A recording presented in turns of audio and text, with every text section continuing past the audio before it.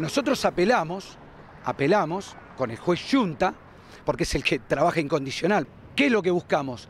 Que los tres vuelvan a prisión.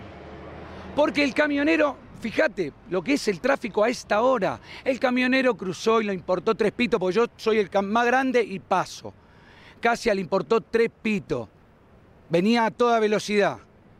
Y peca, el pobrecito peca, como digo yo, borracho, eh, sin registro, dobló a 60 kilómetros por hora y se lo llevó puesto. Pero no tiene nada que ver, es un pobrecito. Entonces, terminemos con esto. Acá hay que terminar, los tres tienen que volver a prisión hasta el juicio oral, que, es, lo que, es lo que Junta es lo que está tratando de lograr. Ahora el que decide es casación, si no la Corte Suprema Provincial, para que estos tres delincuentes vuelvan a la cárcel.